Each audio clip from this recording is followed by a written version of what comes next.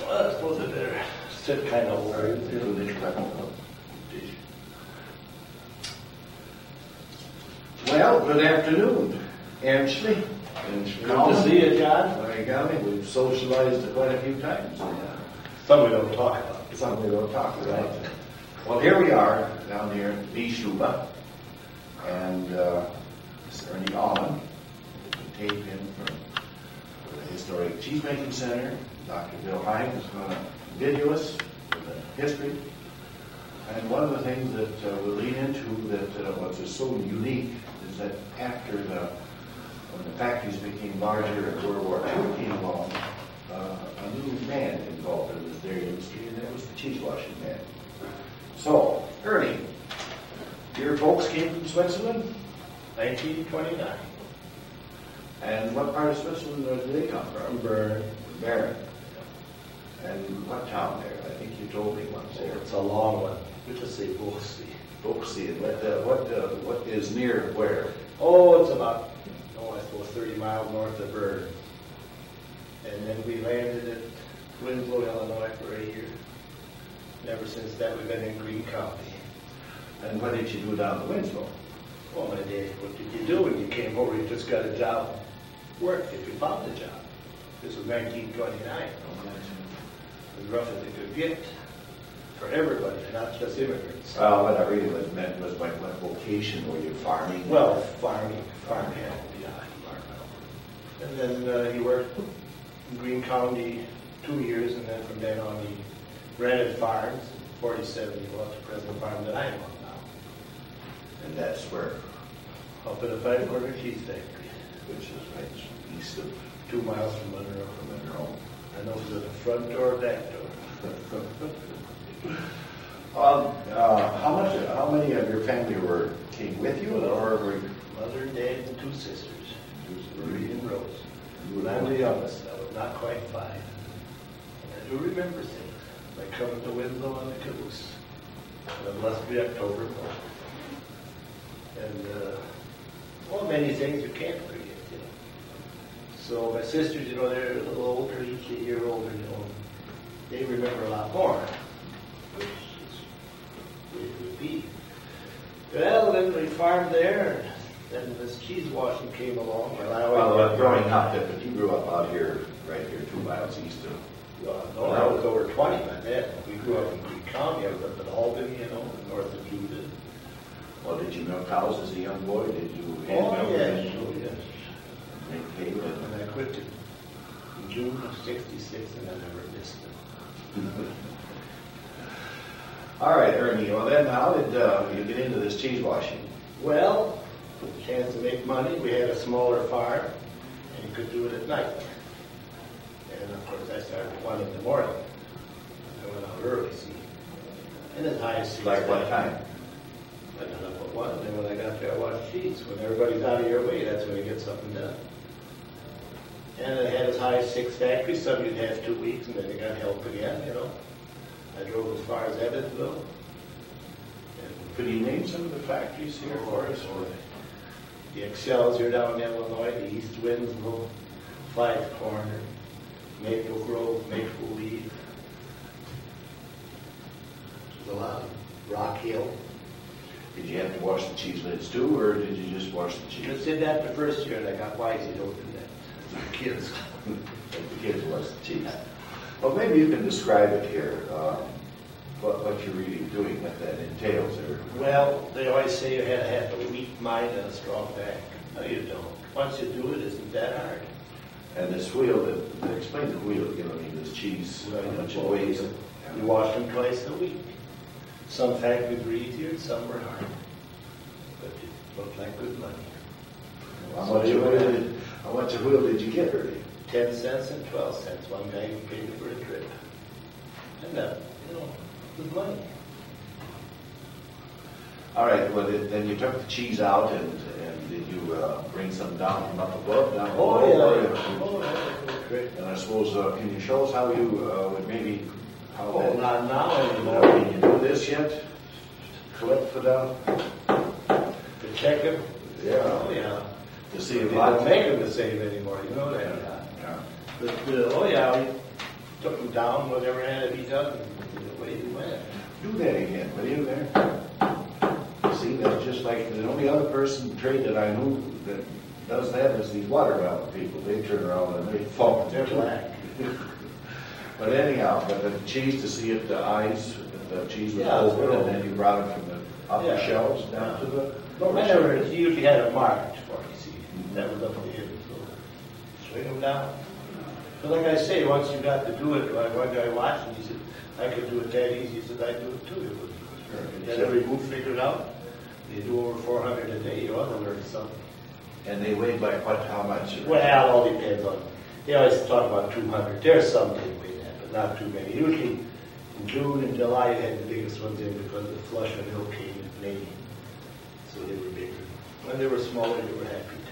Now, how high were those cellars? Like they were on shelves, right, Ernie? Well, you know. How to describe it, yeah. I want you to describe it here for Some were seven high, some were four high. Some were five high, you know, and some were two high. And the ones that were, that you thumped or you brought down from up above and they were ready to ship, right? Well, they probably put in the coal cellar a week yet, or when the grader came around. Then on the floor, you had mostly wore rubber boots, did you? or- Oh, yes. And did you use a buck? Oh, yeah. I couldn't get way up there. Now, explain what a buck is here, will you? Well, you know better than I know, do. but I Well, want that you is I want you to. the platform up, about four feet, and you can jack them up. You had some, you know. Then you took them on the floor, you took across the floor, but some were just impossible. There you had to be a little more careful, you know. The hell ways to fall down. The original buck was one table on top of another one, so you Right. could stand up there and reach those ones clear up there. We had, we had some shelves high as eight or nine. I know you did. I've seen your factory. You know.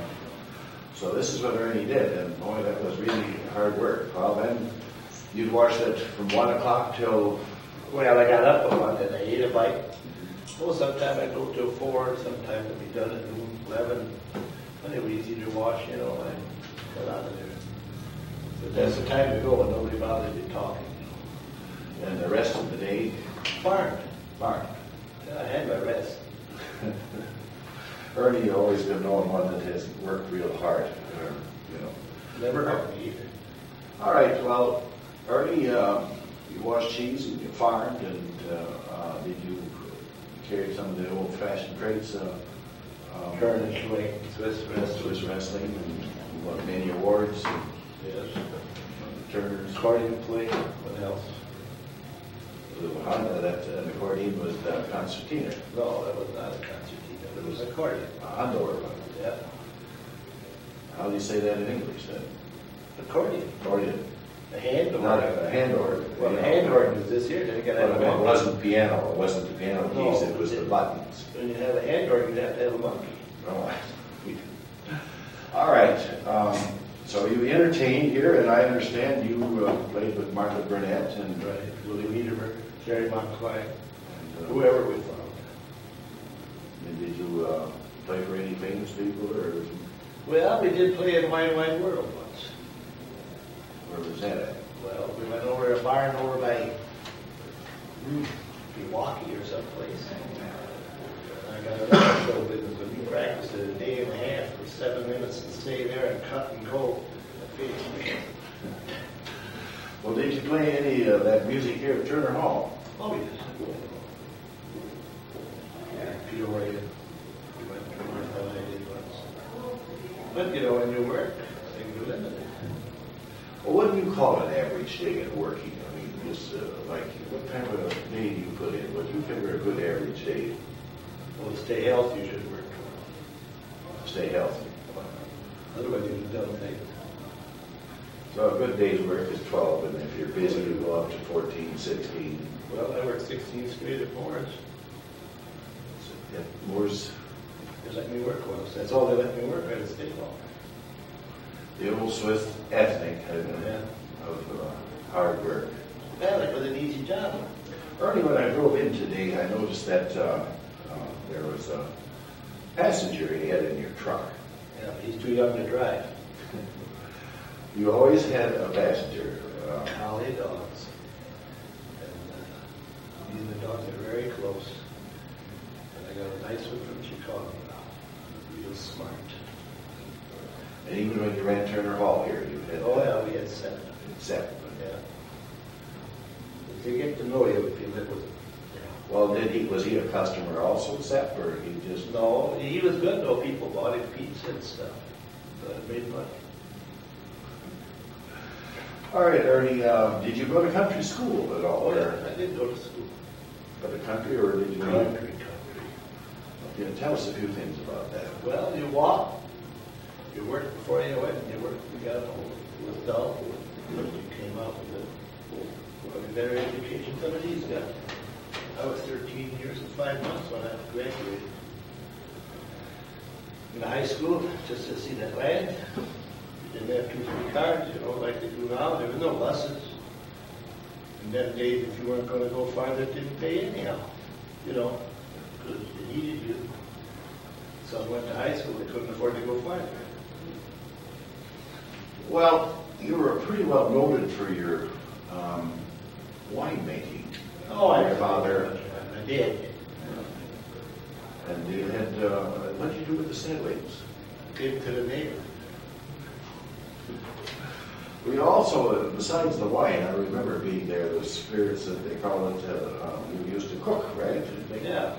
I was there one time. and Gave they- it for you know, And, uh, I gotta, we gotta get this in here with a bottle, uh, your dad came with a little bottle out there in the barn there, and I said, what's this? Well, this is, what we got all the wine settings and, and some barley sprouts, I guess it was barley or oats, Yeah. I don't know what it is, potatoes, that's what, used for a Schwarzes, right? Right? Right. That's what they use for black coffee. Yeah. And It's, uh, about hundred and fifty proof spirits, right? We call it glacier water. So they use the Flint. That's the thing. Okay, um, another thing I want to bring in here, you had a boiler out there at the farm, Heat the house. and then you also uh, fed hogs, Right, I used to cook garbage for a few years. And you picked up the refuge from the, The restaurants. from the restaurants and the hospital, It where was- cooked it. Them days it was good money.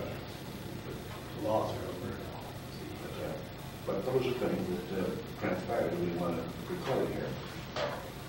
All right, Ernie, now, all that turning, uh, and uh, I understand you went to Milwaukee turning there and met somebody, I met my wife down and what was her name?